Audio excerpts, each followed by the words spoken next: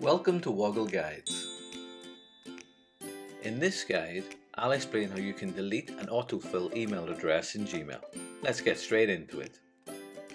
I'm logged into Google and I'm in my Gmail inbox.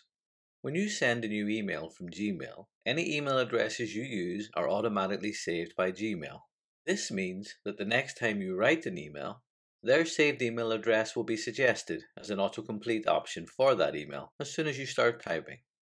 To remove any email address saved in this way, you need to open Google Contacts, which holds the contact details from all the Google products you use. Google Contacts can be found at the website address shown on screen. The link to this site is also in the description below.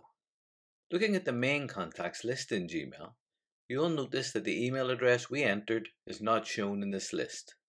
Any autofill email addresses that have not been stored as a Google contact by you are temporarily held in the Other Contacts section of Google Contacts. This can be found near the bottom of the left-hand panel. If I click into this section, you'll see the email address we entered is shown.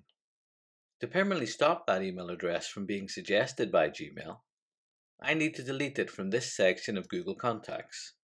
To do that, I'll move my mouse to the top right of the contact card. You'll see there's an ellipsis or three dots icon shown here.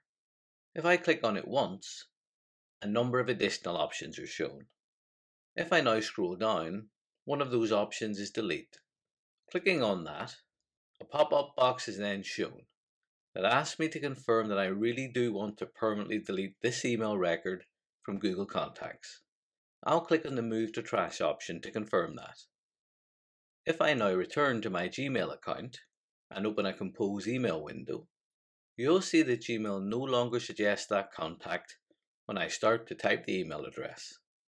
If you want to find out how to add a new contact back into Gmail, check out the Woggle guide shown above that explains how to do this. I hope you found this Woggle guide useful and learned something new. If you have, please like or subscribe for free so that you can find out when new guides are available.